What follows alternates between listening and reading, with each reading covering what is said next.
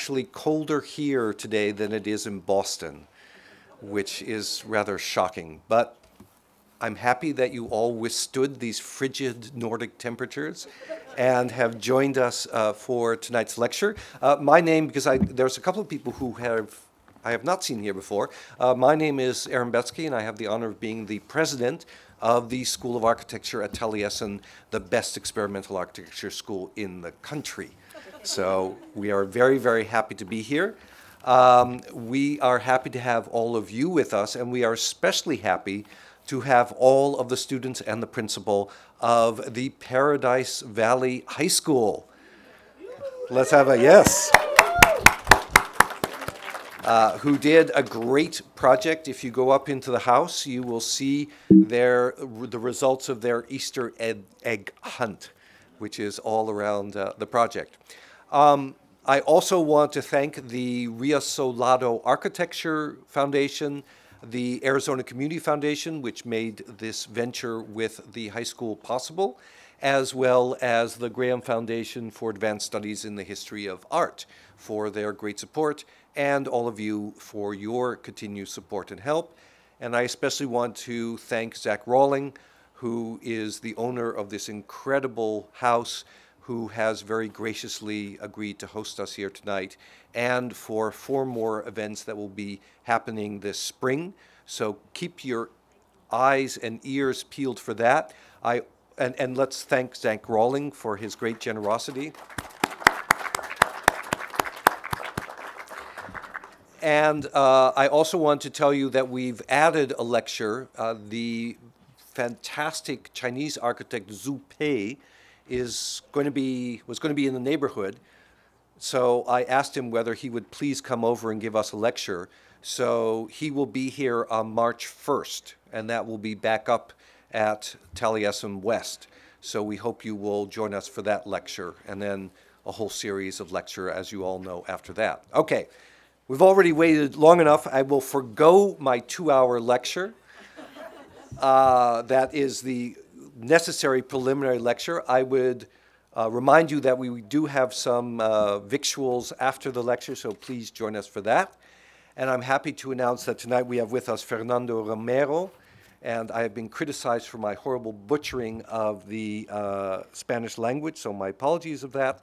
Uh, Fernando is an architect based both in Mexico City and in New York. He runs a firm called Free, I keep thinking of pop songs when I think of that, but uh, FR-EE. He uh, is the son, grandson, and great grandson of architects, planners, and developers in Mexico City. He was trained at the Universidad Iberoamericano in Mexico City and then uh, went to Europe where he worked for the Office for Metropolitan Architecture and Rem Koolhaas. I think that's where I first got to know him. He was the project architect on the Porto Music Building, uh, one of the best buildings to come out of that office. Returned to Mexico City and set up a practice there, which is remarkable, especially for its diversity, with structures that range from some of the most refined glass boxes I've ever seen in my life to the highly expressive forms of buildings like the uh, Museo Soumaya, which is probably his most well-known project. He, in addition to maintaining this practice, has been involved with a series of social issues uh, including research and development on the border, and that is something that we were hoping to talk to him about continuing uh, as a project that we can do here in Arizona and perhaps even at this house. He also has uh, been involved with a series of preservation efforts and a series of theoretical research efforts. Um, and in addition to all of that, he is also the co-architect with uh, Norman Foster of the new international uh, the new international airport in Mexico City. Certainly one of the most inventive and expressive architects uh, in the world. Please welcome Fernando Romero.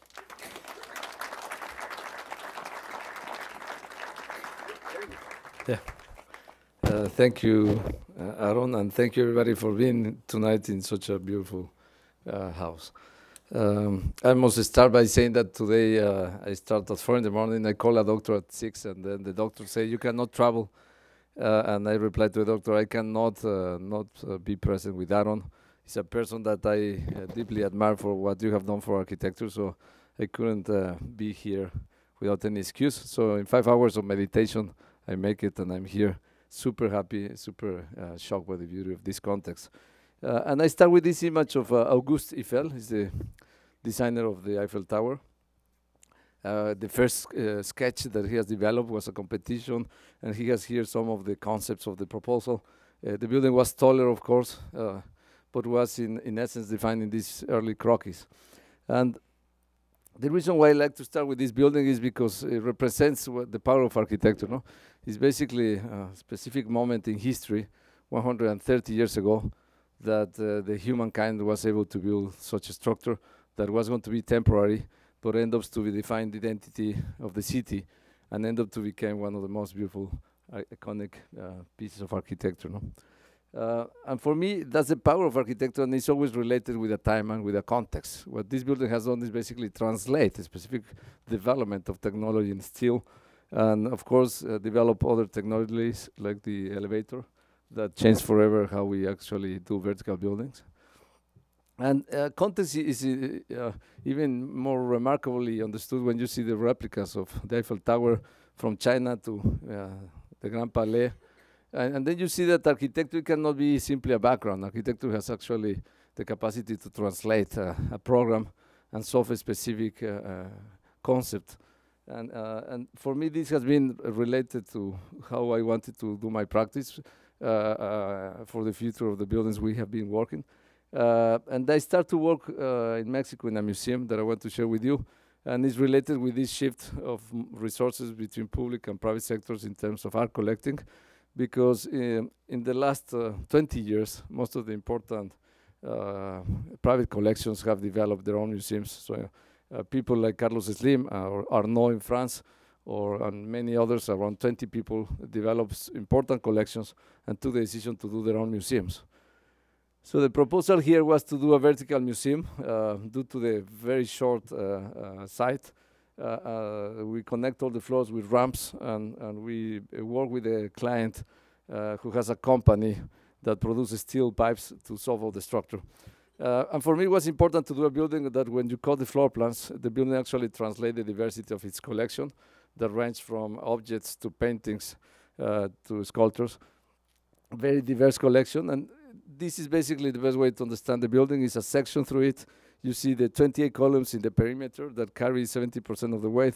We have a core, and at the top we have a, a, a roof that is floating and enable us to have uh, equilibrium between the structure and enable us to have 70 meters free of columns where we exhibit all the sculptures of Rodin.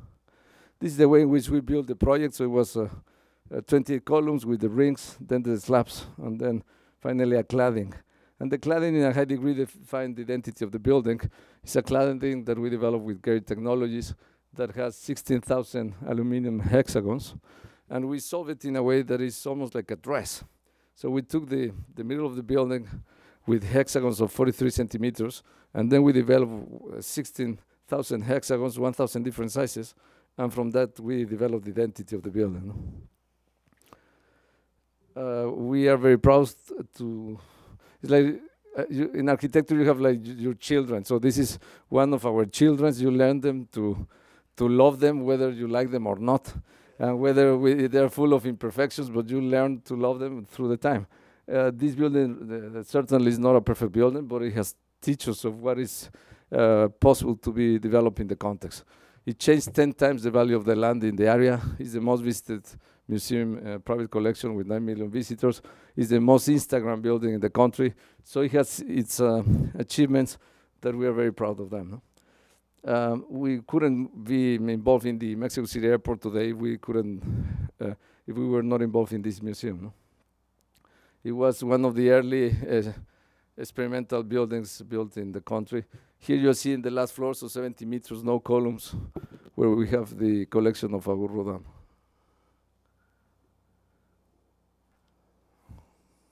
Thank you, you're very kind.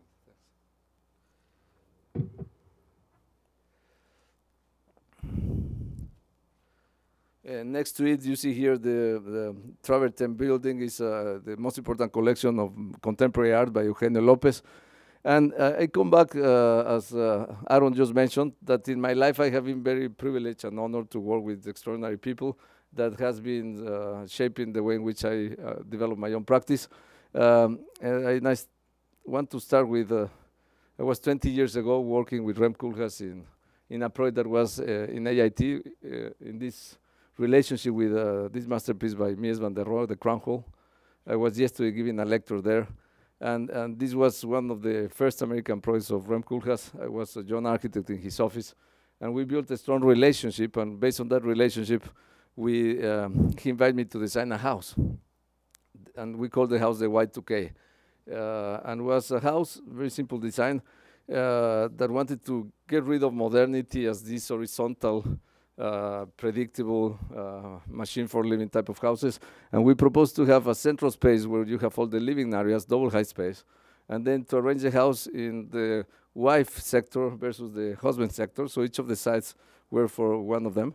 Uh, and here you see the evolution of a house that was never built on the left to a concert hall. So we worked two months, and in two months we achieved to solve the program of an invited competition in Porto here the model of the concept. So we were thinking that you need to carve the main public programs in the solid mass of concrete, and the building became years later the Consejo in Porto, supposedly one of the most important concert halls built uh, in the last 100 years.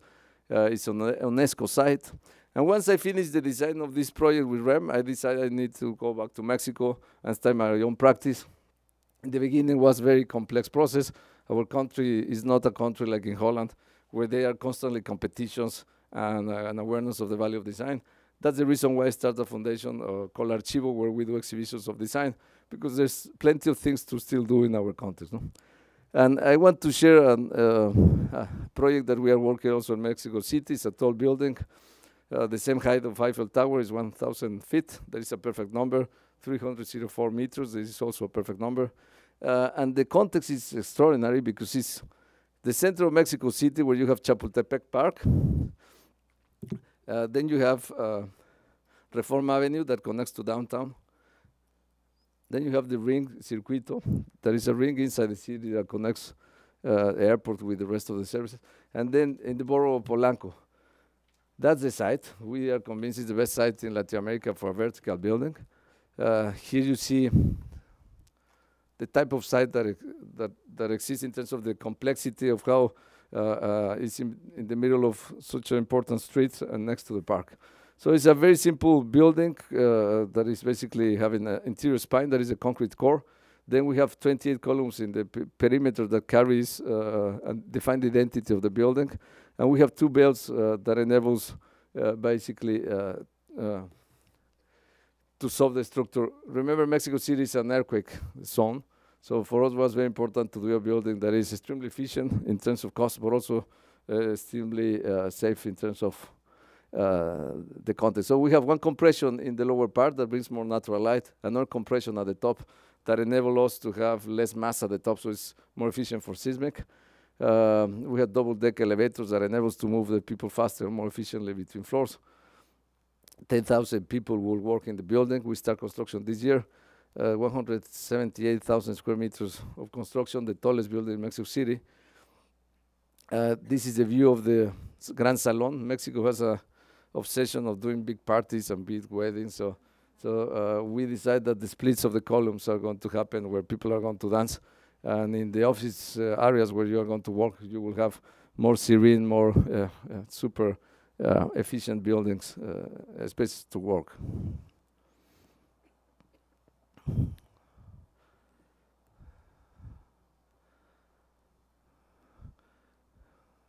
This is a small video that shows show the concept of how the identity of the building is defined with the columns in the perimeter uh, uh, in order to have uh, columnless uh, uh, floor plans for renting of offices. It will become the first Waldorf Astoria in Mexico and um, it's currently on the development, the facade. For us, it's very important. There is not the typical deja vu high-tech post, post England building. So now we are developing the facade that is not duotone, but uh, uh, in one single tone, monochromatic. Uh, other collaborations in which I have been uh, working more recently, I am working with the Portuguese architect Álvaro Siza in the design of a, a small pavilion, as well as with Tadao Ando in the same context in Mexico. Uh, and with Zaha Hadid, uh, one of the most celebrated women in the history, who unfortunately passed away uh, recently, I designed the biodiversity museum that was going to celebrate the rich diversity that we have in nature in Mexico. So the building was arranged in different courtyards where we will experience the different climates we have in the country, from deserts to jungles, uh, up to the history of dinosaurs. Um, and of course, more recently, uh, uh, I have dedicated a lot of my time to Mexico City Airport. It's a competition that I was invited as only eight Mexican architects were invited. Each of us tried to find a great partner, and I was lucky to be introduced with Norman, and we started to work together during one year. And, uh, uh, and with that, we won the competition, and the last three years I have been dedicated to this. This is early view of Mexico City. Uh, it's the pre-Hispanic city that was uh, founded next to the lake before the Spanish people arrived and developed what it will become Mexico City as we know it today. And in this animation, you see the evolution of how the lake has dried and how Mexico City has grown. And in red, you see the current airport. Current airport has two terminals, one and two, two runways of uh, three kilometers, very close to each other, 300 meters and then a new master plan that will enable us to uh, triple the current operation of 41 million passengers per year up to 120 million passengers per year during the different phases.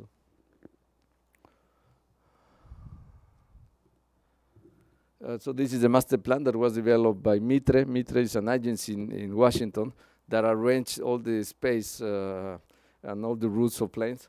And they developed this master plan that enabled us to start uh, currently on the construction, runway 2, runway 3. In the middle in white, the building we are working. But during the different phases, we will build more terminals up to six runways. And with that, we'll be one of the biggest uh, airports in operation in the world. Uh, today, the biggest airport on construction in the Americas. So this is the way in which we arrange all the gates. That is in the form of X. That is so representative for Mexico. So we thought that in the competition was very important to bring all, all the symbols that has some echo Uh, for our government and for, for the vision that this uh, uh moment wanted to uh, materialize in the building. And for me, it was very important also to do a building that was not a replica of other airports in the world, but to try to do something that connects with the history of Mexico. On the left, you see the Pyramid of the Sun in Teotihuacan. In the center, you see the Zócalo downtown Mexico City built by the Spanish people. And at the end, you see Ramirez Vasquez Anthropology Museum that represents our modernity. So we thought that was very important to recognize the DNA of monumentality that our architecture has. And in that sense, we have developed a structure that is not a generic structure of columns of a grid of maybe 8 to uh, maybe 18 meters, and then cladded with uh, traditional materials that is how most of the airports are built in the world. But rather, we were interested in doing a singular structure that enable us to have big spans in a system that is modulated and repeated, so that is extremely efficient. Uh, so this is the central space of the airport. So after you pass security, you will arrive to this place, and this is where you have all the retail and the salons, and from there you will go and reach your gates. We have 80, 180 meters free of columns, and in that sense, the building connects with our past and projects to the future. No? Uh, here the experience of arriving by car. The building became almost like a topography, like uh, uh, that have a conversation with the mountains that surrounds Mexico City Valley. Then you arrive, get down from your car, cross these bridges between the gardens, and then you arrive to the interior of the airport. That should be something that is about celebrating what Mexico is capable of doing. Yeah, we used to have great engineering, uh, and, and this building it will uh, became uh, demonstration of that. Most of the airports uh, in the world are arranged in these generic three floors. So you have platform where you move all the needs uh, that uh, the plane has and all the luggage. Then you have level of arrivals that are long corridors that will connect to the center of the building where you have immigration. And then you have departures that usually pass security. So those are the typical floor plans in any airport. For us was very important to do uh, the design of all the furniture uh, in conversations to the geometry of all our envelopes. So for example, here you have the uh, the check-in, uh, you the luggage will go down. So it was making a lot of sense that the curves are simply a great replica uh, or a great conversation with the megastructure. Here the concept in the competition, and here three years later, with more than 300 architects in New York, Mexico, and London, uh, this is the result of a BIM model, the 300. And from this BIM model, we have taken three, uh, sorry, 10,000 drawings. And then the client used those drawings to build the process and start construction.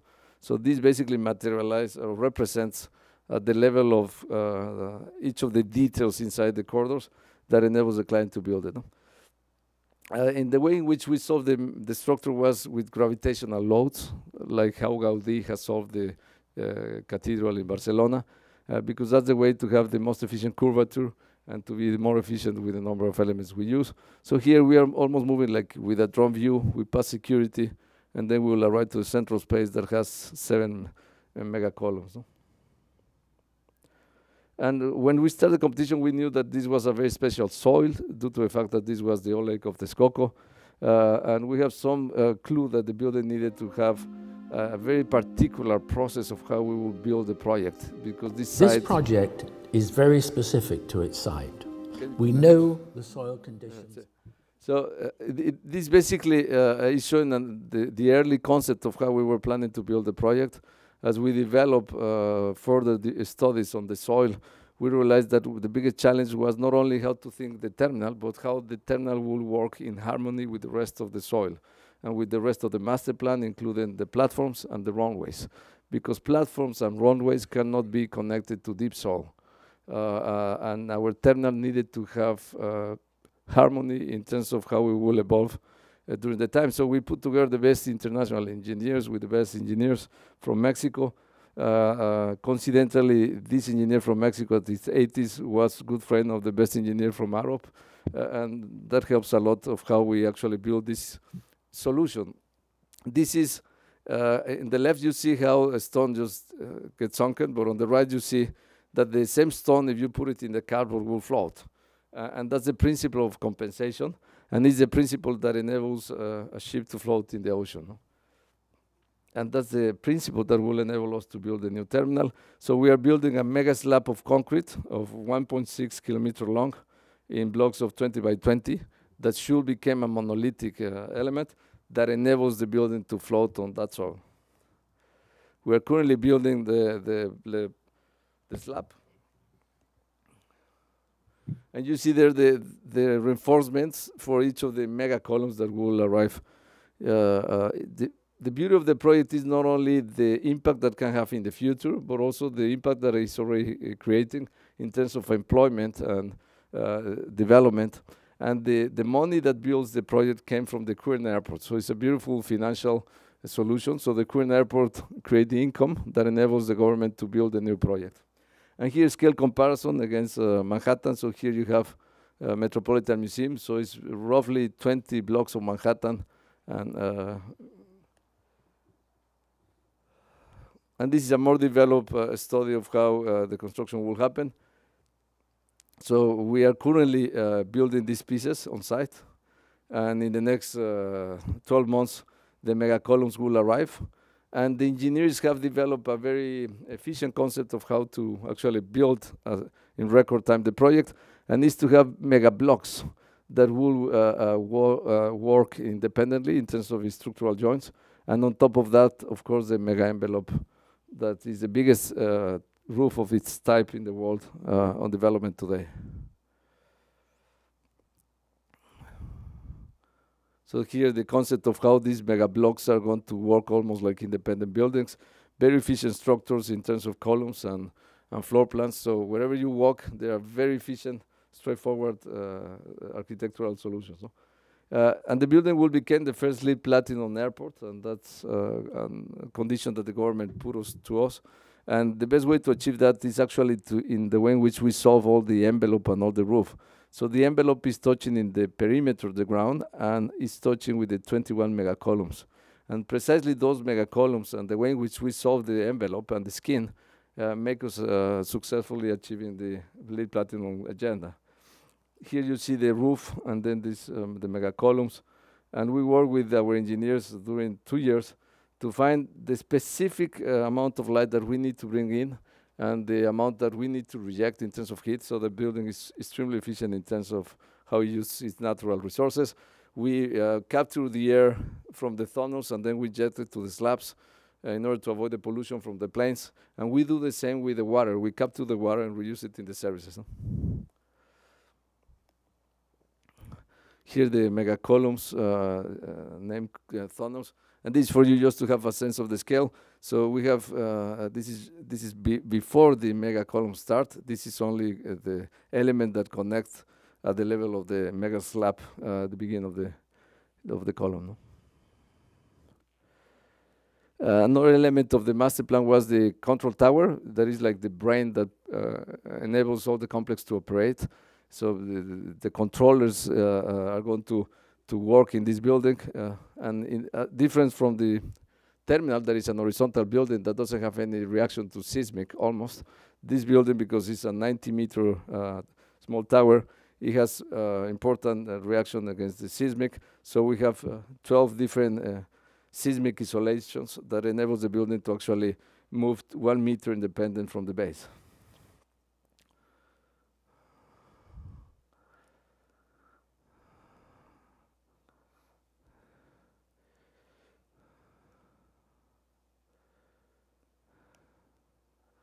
And uh, the reality is that this project was possible thanks to a vision of a politician, uh, in this case, President Peña Nieto, uh, sorry, President Peña Nieto, uh, here present with Foster, was in primary school when he was 13 years old, and they asked to him, "What do you want to do when you are old?" And he replies, "I want to become president."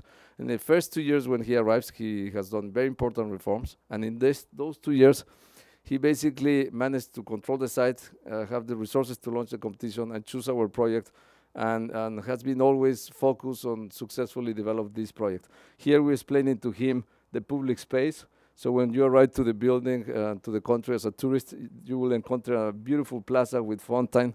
And uh, he was extremely interested in knowing the experience of, of all the visitors to Mexico. We changed from being the 11th most visited country to the 9th most visited country in, in the last six years. Uh, due to the currency, Mexico, uh, with the devaluation, is even more attractive for tourists. But um, here you see also the candidate, and whenever you know that in presidential elections that we have this year, people are discussing the project because the new candidate uh, is actually this person who opposed to the project, and he has promised to cancel the project. Uh, and he's the most likely to win in four months. So whenever you you're involved in a project where presidents are, or candidates are discussing, then you can be sure that the project has some uh, important impact on the economy and the tourism of the country. He's basically here explaining that it's, it's more economical to build the airport here. He thinks the airport is too expensive. Uh, but of course, it's a very casual statement because this has been the result of 20 years of planning with the best uh, consultants in the world. Another aspect that is very interesting is, is the, the site versus Teotihuacan. So the pyramid of Teotihuacan that used to be the most important structure built in the continent for many centuries is only 25 kilometers away. And this was a coincidence when we won the competition. We, of course, visited Teotihuacan. And a remarkable coincidence and a beautiful surprise was that when we overlapped the, the airport on top of Teotihuacan has precisely the same dimension, Calzada de los Muertos, and then the Pyramid of the Sun perfectly fit in the center of the building. So this is simply a collage for us to have a sense, and was a good way to explain to a client the scale of the project. No? Uh, and for us was the opportunity again not to replicate a solution that we have seen in other magazines, as for example, the favorite candidate to win the project has copied the Hong Kong airport by Norman Foster. Uh, we rather have uh, worked intensively the 15 months of the competition to imagine that this was going to become the gate to Mexico and that needed to have its own identity and cannot replicate the identity of other airports in the world. And just this is the last image. So infrastructure is about investing on the future for the future generations. Uh, uh, here we are showing possible evolution of how the planes, of course, are going to change. Probably it's too far away, but of course we all know that transport is going to change in the next decades radically uh, to become more efficient. For example, just the distance of the gates are defined by the sizes of the wings in a high degree uh, and uh, the connectivity within the cities uh, and the airports, of course, will change in the decades to come. No? And with that, I changed to Hyperloop. That is another important project we are working. Um, Hyperloop came from this vision of of having a train uh, inside a tube that moves with magnetic energy and that can reach uh, 1,000 kilometers per hour. That was stated by uh, Elon Musk as the most efficient way of transport of the future. Um, and a company based in Los Angeles uh, called Hyperloop One have developed further this concept. This video shows the principles. It's basically explaining uh, most of the uh, engines in the world are um, working with magnets, but the, the, difference is that these magnets are placed on the on the path, uh, linear, and uh, um, this technology already exists, of course, in maglev, uh, the train that connects Shanghai in China. However, they develop uh, the system further and it's more efficient, so they they don't need to have so much maintenance. Uh, uh, it's much more safe. and the whole concept of, of Hyperloop One is not only to be magnetic, and that the building, uh, uh, the pod levitates, but also to have less pressure. So the reason why a private plane or a plane go high in order to travel and have less consumption of energy is because you have less pressure. Here's the same principle. We get rid of the pressure inside the tube, and with that you can achieve faster uh, with less energy uh, speeds. So. Uh, we are convinced this will become one of the ways of moving people in the future and also goods and we were participants of a competition with 2,000 uh, teams, and we were selected 10 teams in the world to have the best corridors where this technology can be applied. So the company has already tested in, in, in Nevada, and with that they are developing all the technology. This diagram just shows the difference between moving uh, in our corridor that connects four cities, uh, 10 hours by truck, maybe six hours by car, maybe two and a half hours plane, and with Hyperloop, you can reach that in 45 minutes. But the important aspect of Hyperloop is that you reach the cities. You're, you do not go far from the cities, but inside in the cities. And here the corridors that were selected, of course, many in the United States. The people that are working more aggressively uh, with the Hyperloop are Dubai, Abu Dhabi, that is already in construction. Holland and Finland, the governments are already developing their projects, and the rest was part of these lists where we were um, so we propose again to connect this area because it's precisely the area that after the NAFTA received the highest investment. Is the highest growth per capita in the country, is where all the industries uh, came. And if we are number one trading partner with the United States in terms of imports and exports, $600 billion combined, is because of that. This region is uh, uh, extremely uh, efficient and has consolidated in a very important way in terms of the industries. It has 500 kilometers, that is the optimum for Hyperloop. And now we are working with the government in terms of finding the best route uh, for this achievement. No? And many people ask me, but what you have to do with Hyperloop? That's an engineering project. But the reality is that each time that arrives to the city, there is a big development and a big uh, way in which uh, you can impact how the cities will grow. And of course, this will change the conscience of cities and megacities because in the future, if you can reach another city in less than 25 minutes, it's almost like being living in the same city. So we are convinced that this will also change the way in which we think cities in the future. No? And from that project, I am working in another one. There is a different corridor that is to try to develop a, a dry canal in Mexico, in El Istmo. And this has a, a very uh, ambitious agenda because it can have impact in terms of moving goods uh, from Asia to the United States that currently they take 19 days when they use Canal of Panama. And the concept is that they can go through through El Istmos uh, and connect the Gulf of Mexico with Salina Cruz. And they can do this uh, reducing uh, seven days uh, on the movement of the goods. Of course, the possibility that with Hyperloop also you can connect to the border and half of the market between United States and Mexico pass through Nuevo Laredo. So we also imagine that you need to connect uh, Monterrey and one day Nuevo Laredo and then connect to the uh, corridor in, uh, in United States.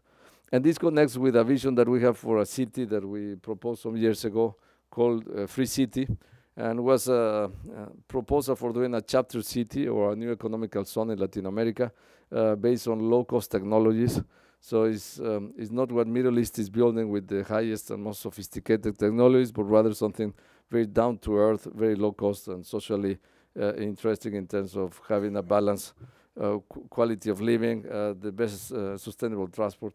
And this vision, we bring it to United States border with Mexico because we have a client that proposed to us that we should do a new city next to El Paso and Juarez. So what we propose is that we will create different boroughs that were uh, conceptually organized in such a way that there are services that Americans can use in Mexico at a lower cost, like for example, medical services, entertainment, hospitality. Uh, this is a cluster, industrial cluster, where already Foxconn is building iPhones, and the pre-clearance is already happening in Mexico. So the beginning of this uh, vision of the future border is already happening in this site. So we work with uh, Buro Happold in New York, a company that has great experience in planning. Uh, we developed this project uh, with the idea that this can become uh, built by different phases in the coming future. Of course, we are convinced that the border would change a lot in, in the next decades due to technology we don't really believe that a wall would do anything important. And, and we are convinced that he knows, that you know, that we all know that this is not going to solve any problem. Uh, we rather were very interested in, in celebrating the extraordinary relationship we think we have. Uh, we are the best partner. Uh, we, we, are convinced China is the real problem for America, but we are the best partner for North America. And this museum was going to celebrate that important relationship. It was immigration museum that we designed in 2002. Of course, we are convinced that this is one of the most complex, uh, uh, socially speaking, sites in the world. Uh, and we know it because we have done an investigation in the book called Hyper Border that we developed some years ago.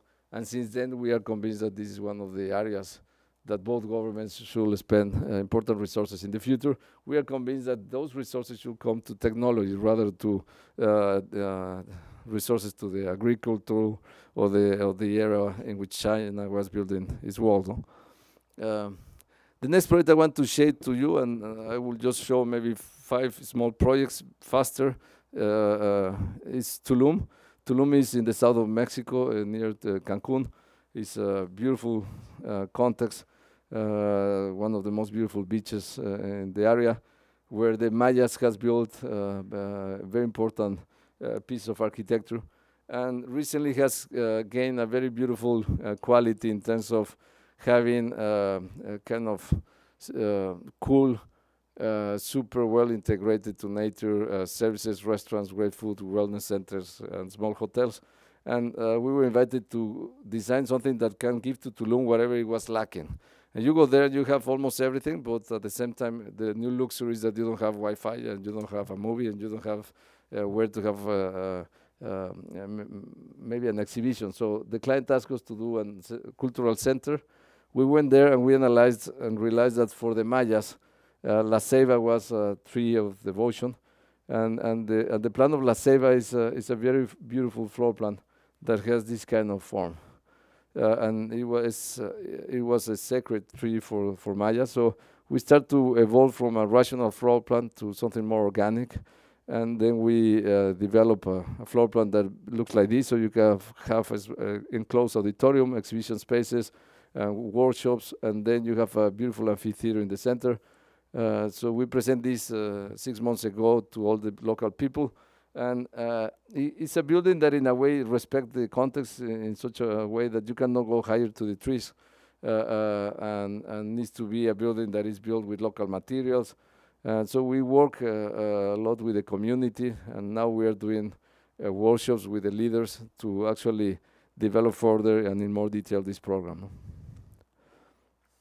The building enables people to actually have exterior performances, main performances in the center, or having exhibitions inside. No?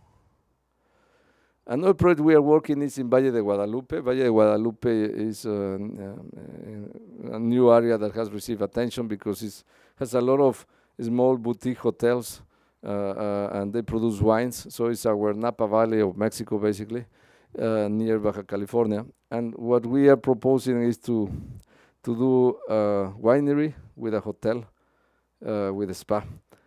Here you see the olives that the client has planted in the last 20 years and has one of the most beautiful sites. So this is the site we will do a hotel, and here we'll do the winery. Uh, and uh, if you go there, you will you can have like very isolated little hotels with beautiful quality, beautiful designs.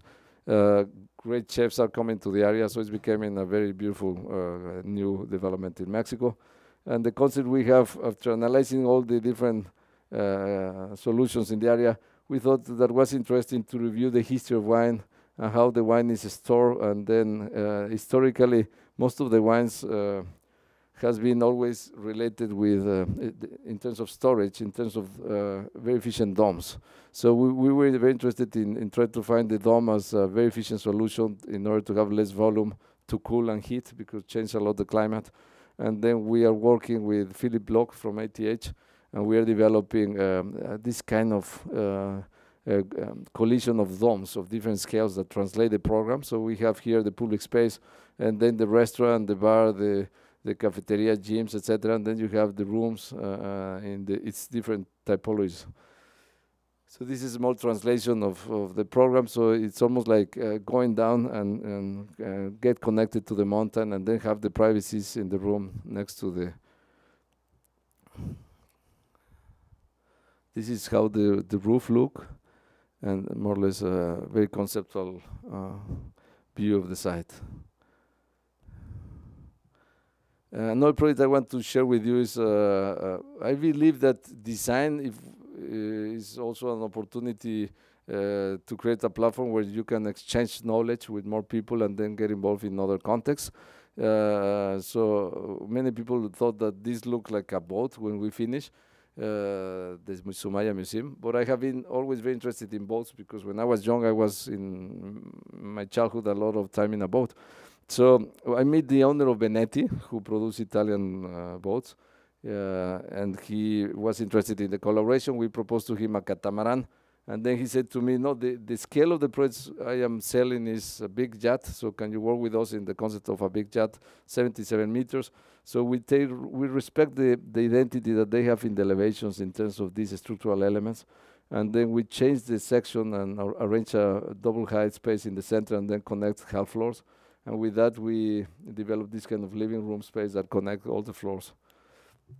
Uh, of course, to work with uh, with Benetti was a beautiful learning experience in terms of how a mass should move in the water uh, and all the principles of how you define the design of a yacht. We wanted to have something that was very smooth, uh, contemporary.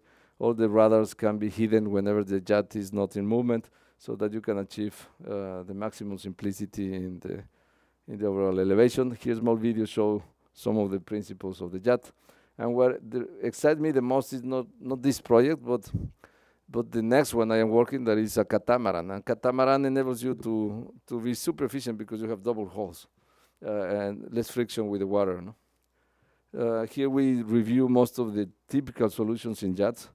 So for example, this is the, usually this is the captain space and for us was the master bedroom. This is the spa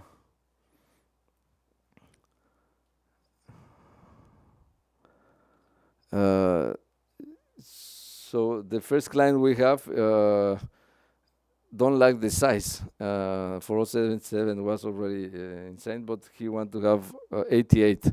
So most of the people that produce these these uh, pieces, they are uh, obsessed with the specific numbers. And in case, in this case, he was very interested in in being able to put his helicopter uh, that we have it here in the front in the pool. So this can be lifted and the heliport can arrive for the helipad. But now the client want to have a bigger helipad at back. So the first one we think we will develop is is 88 meters. But this brings me to the project I am more excited. And the beginning of the conversation with Benetti was about how to do and learn from other industries like military industries. They are doing uh, super efficient boats that has only two connections uh, to the water or double hull. And in that sense, we start to study uh, how far and since when the catamaran exists as a typology. And uh, catamarans currently are very competitive in terms of cost in, uh, in regards to the rest of the market. Uh, so you can pay one third of the cost with the same space of the typical jet. Uh, but the problem is that catamarans always look like horrible boxes. So we are working now with Lagoon, a French company, and with Lagoon we propose to develop the most sustainable catamaran. And we think we can achieve that uh, in the coming years with full solar panels. Uh, so we are working with them in, in, in, early concepts of how to have a catamaran uh, that becomes super efficient. And for, for us, in a way, it's like a floating home, no? more more affordable. So it's not for the 000.1 oligarchs, but something that is becoming, uh, in a way, more realistic to being in the middle of the water. Uh, so it's a floating home, and with that I changed to a typical house. And the reason why I show it is because as architects we have been always very interested in designing houses. So for example, the most iconic project in Mexico was the house of Luis Barragan. And I think that also is the best way to see how architecture translates something. So you can imagine what type of client will live here, no? He has a tie, he's very responsible, maybe paid taxes first than anybody else. Uh, uh, and and this is the client we designed for a client. And you can see uh, or imagine what type of client it was. It was somebody that didn't have anything, and by himself he has uh, built an empire that sells vitamin without any employments in direct sales in all Latin America. Uh, and he asked us to have the most sustainable villa, so we propose to reduce the footprint to the minimum and then to have all the rooms floating in the second floor and cover the roof with solar panels that enable us to capture energy with the sun and then do a building that enables him to enjoy the garden. Uh, this is the last project I show. Thank you everybody for being here tonight in this cold. Uh, and this is a house. And since I knew that we were going to win this masterpiece by uh, Frank Lloyd Wright, I showed the house that I am working. That is one of my favorite projects, very small project, but very uh, symbolic for us. This is the, the context. So this is basically in Iztapas y it's on the Pacific. Uh, and you will see now the site is basically this, that's the site. Uh, so it's a, a, beautiful view to the sunset in the afternoon. So this is the site. So we'll do two, two houses. We'll do a rational house here that is almost invisible and a more special house in this uh, right side. So there are two plots. Uh, the rational house for me is uh, an invisible house. Uh, this is the gym under the living room and it's basically three slabs that are basically just uh, stuck in the context. Uh, for me, it's almost like on design. Uh, it's the movement of three slabs, the, depending on the cost of the site. Um, uh, so basically, you have the garage, then you have the living space, no columns because this is floating uh, with that wall, and then you have the the living rooms, the, the private rooms, and then the gym. So this is the the view from the from the living space. But the one I am more interested to show you is this one, uh, because was a consequence of a long review of different projects we have done in some years ago, and it's about how to do a structure that is continuous, that uh, in a way creates uh, arches and becomes monolithic and very simple pavilion. So you go down with a ramp, then you reach a welcoming space, uh, a more intimate space, the living space facing the ocean, and then the rooms uh, in both sides. Uh, so it's a small diagram of the project. And basically, the section looks like this. You have a pool at the uh, in the roof, and then you have always this kind of continuous space. And what is interesting is we are working with Philippe Block in order to avoid uh, the waste. When Candela was doing these beautiful shells, the engineer in Mexico, you produce wood and then you cut the concrete but we will do this house with cables so we don't need to create any waste. So this is early, early models, but basically it looks like this. You don't need to have windows. It's completely open to the exterior. So you arrive with a ramp and then you have this is the living room and then the rooms in both sides. So something like this, very schematic. But with that, I want to thank you everybody for this invitation. It was an honor to be with you. Uh, Aaron, thank you very much for this invitation and thank you for having me here tonight. I'm very happy and honored to be here. Thank you.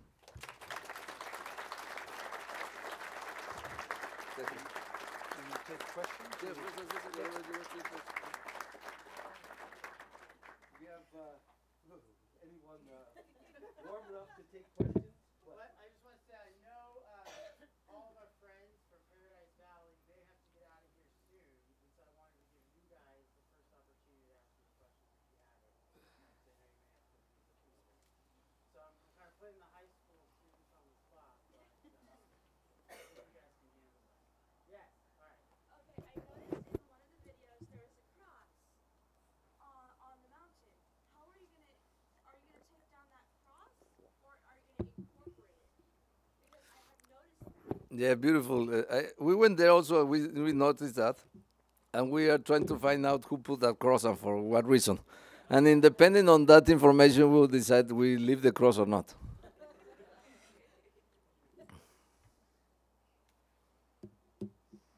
Other questions? Yes. Thank you for your brilliant mind, your creativity. I only hope I can live long enough to see it in actual space. Thank you. You're so kind. Thank No, I you very mean much. that with bottom of my heart. Thank you very much. Absolutely breathtaking. It means to me a lot when you say thank you very much. Thank you, thank you. What do you really feel? Yes, over there.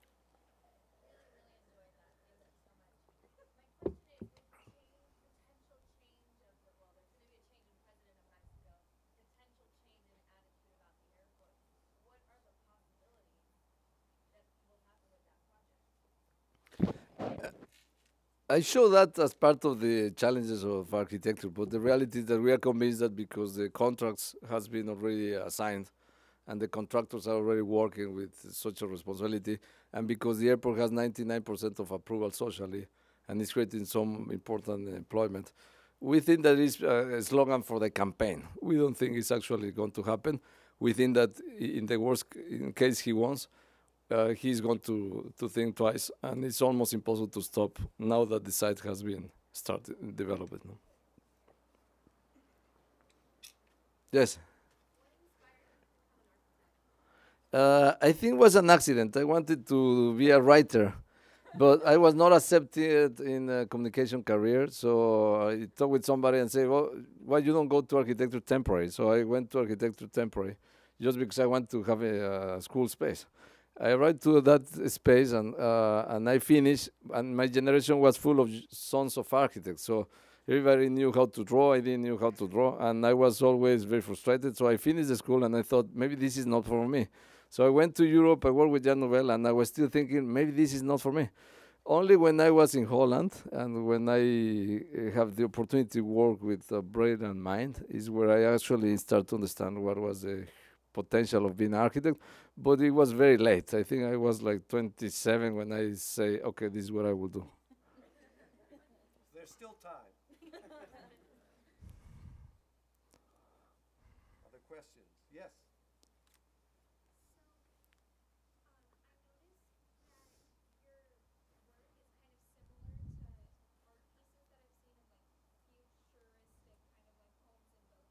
Mm-hmm.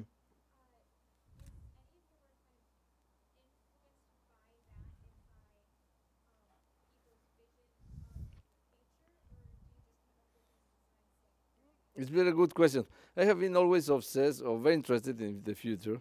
And I think if architecture really translates a moment, I am so many times very frustrated to see uh, that what we produce as architects, majority, 90%, is replicating modernity. It's basically rational boxes uh, that looks like if we haven't evolved. But as civilization, we have evolved a lot. Uh, the devices we use, the way in which we communicate, the tools we have today uh, has changed so dra- dramatically. So I am a believer that architecture should be part of that. It's a slower process, but architecture uh, is going to uh, has the power of really representing today's reality. So it's for that sense that I have been always very interested that there's not uh, uh, not necessarily the simplest way to solve a project is what it interests me the most, but the the things that you can do with today's tools that excite me the most. I think.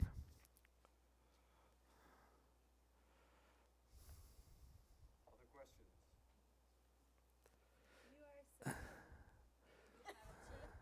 Not so young. Why do you laugh? I was saying to her, I am 46, I'm not so young, and she laughed like, ha! So, I I must be so, not so. She knows that I'm not so young.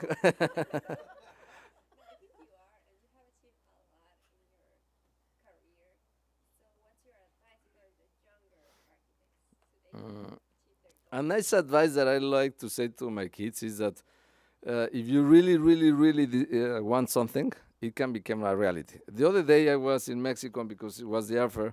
A friend came and she said to me, I'm going to bring some people from San Francisco, uh, very important people. And okay, I, I saw the list and I didn't have time to see who they are.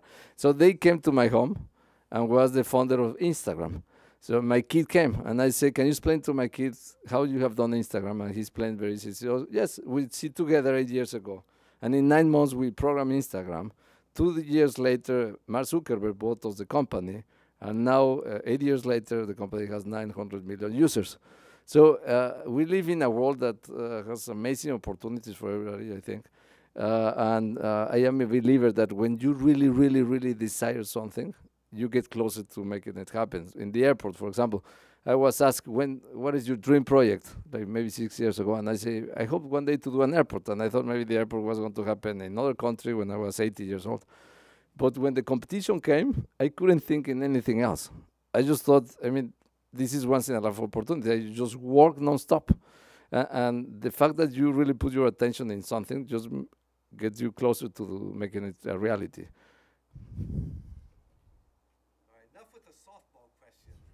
the way, the real answer should have been you come to the School of Architecture in Exactly. Sorry, sorry. A tough question. Come on, let's have a tough question.